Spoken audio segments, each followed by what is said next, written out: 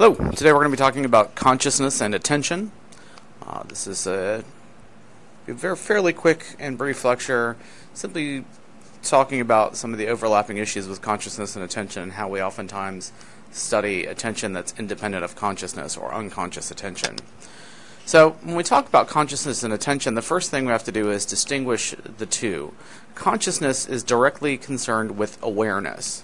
That includes both the feeling of awareness and the content of awareness. So things that we are consciously aware of would be our consciousness. Attention and conscious, consciousness partially overlap, but not entirely. There are memories that we uh, don't have conscious awareness of, perceptions that we attend to but are not aware of, things that we have processed uh, perceptually that we did not reach the level of conscious awareness. Which brings us to the role of conscious attention. Uh, conscious attention is involved in monitoring our interactions with the environment.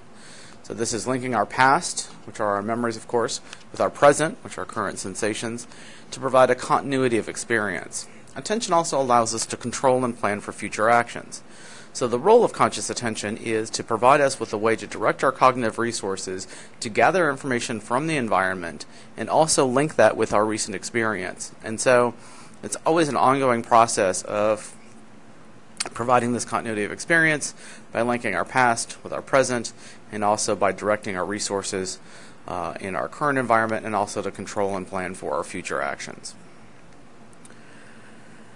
There are a variety of ways that we study uh, what we call preconscious processing or attention without awareness. The first of these is a fairly standard cognitive psychology paradigm referred to as priming. This occurs when processing of a stimulus is facilitated by a prior presentation of the same or similar, similar stimulus. Pardon me. Um, we demonstrate that priming has occurred generally by faster reaction times and improved accuracy in these kinds of experiments. So what we can do is we can infer that you have processed that previous stimulus even though you won't consciously be aware of the fact that it's been presented. And we see that by faster reaction times and improved accuracy. So, uh, down below here, we see sort of a typical priming experiment. We'll have some sort of prime, which will appear for about usually 33 milliseconds is the longest we can go on these. That's followed by a backward pattern mask. The purpose of this backward pattern mask is to remove this prime from sensory memory. That is, we have to sort of overwrite it. Uh, if we did not include this backward pattern mask, even though this wasn't still on the screen, you would actually still be able to see it for a brief period of time afterwards. So that backward pattern mask keeps that from happening. We then get uh, what's called the probe, and then we get a participant response. So usually the participant's response is is it a word or a non word? Is it a category of some kind or another? So for example, at the top here, uh, we would see um, a prime followed by a probe. Of course, the response participant response would be, oh, sorry, prime backward pattern mask probe, and the participant will respond with word. They'll be faster in this repetition priming example than in this other example, which is non-repetition priming. And of course, these others here are simply uh, to show you what they might get if they were going to be presented with a non-word. So obviously we have to have both words and non-words, uh, so we can see uh, that their reaction time is indeed faster uh, to words, particularly if the same word was presented previously. So this is repetition priming. This would be an example of semantic priming, and this is something we'll talk uh, a lot more about later on in the term. So you can see in the top row we have banana and apple, which are directly related to one another, school and apple, which aren't really related. So we would expect you to respond to the word apple when previously primed with the word banana. Again, even though you won't remember having seen it or report having seen it, you'll be faster at identifying the word apple because we have primed the category of fruits. So that'll be important later on in the term. Uh, other ways we look at uh, preconscious processing is by uh, examining what's called the tip of the tongue phenomenon. Uh, this occurs when we try to remember something that we know is stored in memory but can't quite retrieve it fully from memory. So what we're trying to do is we're attempting to pull that pre-conscious information into consciousness. So essentially, we know the information is available. We just simply aren't able to bring it to our conscious awareness. Um, this is really difficult to study. Um, I know some people who work in this area. Uh, it really requires some very clever, very interesting ways of, uh, of conducting research. And uh, I will actually post uh, a link to uh, a colleague who does some of this work who has a really great TED talk on this phenomenon. So, what's happening here is you're trying to pull pre-conscious information into consciousness. Uh, we've all had this happen. Usually, it's we're trying to remember somebody's name or a celebrity's name. You know, that one guy that was in that movie with what's her name. Um, it's something we all have experienced. It's simply a question of uh, how we study that in the laboratory. Uh, in patient populations, we can study what's called blind sight. Uh, these are individuals who have damage to their primary visual cortex. So these patients have perfectly normal eyes.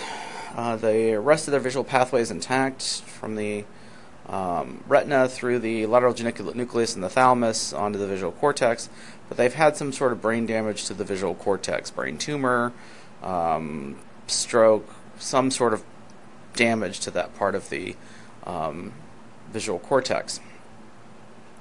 They'll have an area in their visual field in which they cannot consciously perceive any stimulus. And this area is called a scotoma. So when it looks something like this, this is a rough, doesn't look anything like this. This is a rough idea, whereas the blind sight patient might be looking at something and there'll be an area that they can't see. Uh, it's usually never this big, and usually they aren't even aware of the fact that they have a scotoma. Oftentimes their brain will fill in with surrounding information, and so stuff sort of just disappears there. So it really wouldn't look like this in their experience. Now, the problem is, um, one, because they're oftentimes not aware of it. It's just like with the blind spot we all already have, which is um, where our optic nerve exits the retina. Um, your brain fills in that surrounding area. These patients visual information is coming from the retina, unlike our blind spots. Um, information is coming from the retina to the brain, but it's not going through the primary visual cortex. But if you present stimulate in these areas, patients can report the, uh, the identity and location of objects presented in that blind area at above chance levels, even though they can't consciously report that. So again, it'd be kind of like a priming experiment. You could put a word there and then ask them which of these words was presented uh, recently, and they'll I'll guess at above chance levels the item that was presented. So, an issue that comes up with consciousness is this question of automatic versus controlled processes. And this is another area in attention that um, we've talked a little bit about in terms of automaticity, requiring less conscious resources. So, automat- automatic processes involve uh, no conscious control. These are things that occur without conscious awareness. They demand little or no effort or even intention. They're performed relatively fast. They're usually performed in parallel, that is, more than one process at a time. So things that are we do automatically, um, we can do have more than one, as long as they're not taking up the same resource. Um, we can take up those tasks uh, at the same time. So you can walk and chew gum at the same time walk and talk at the same time, because these things are, are accomplished relatively automatically. So they're fast, and again, they can be performed in parallel. Controlled processes require conscious effort, and they have to be performed what we call serially. That is, you can only be doing one at a time. Uh, they require more time and more effort to perform. So things that require conscious control are eating up a lot of resources. And so anytime we're diverting our attention to something else. We're eating into these other controlled processes. And while some things may feel automatic, they aren't always. So, for example, texting on your phone is not an automatic process that requires conscious effort because you have to think about what you're going to say. You have to consciously figure out where the keys are because you can't really do that automatically anymore. Um, you never really could. But it requires time and effort to perform, and you'll always be taking away from uh, those uh, other processes that you're trying to accomplish. So, automatization is the process by which a procedure can change from being highly conscious to relatively automatic. And this occurs as the result of practice.